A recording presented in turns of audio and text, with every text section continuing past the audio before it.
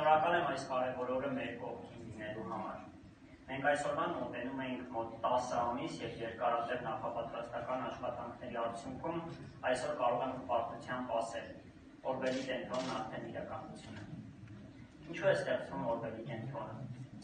Նախորդ տարվա ապրիլ-մայիսյան իրադարձություններից հետո մեր երկրում փոփոխությունների փուլ է սկսել եւ այս կոնտեքստում շատ կարեւոր է նաեւ հիմք ստեղծել երկրում առողջ քաղաքական հասարակական քննարկումներ ծավալելու համար, քանի որ դա պետության զարգացման համար պարտադիր նախապայման է։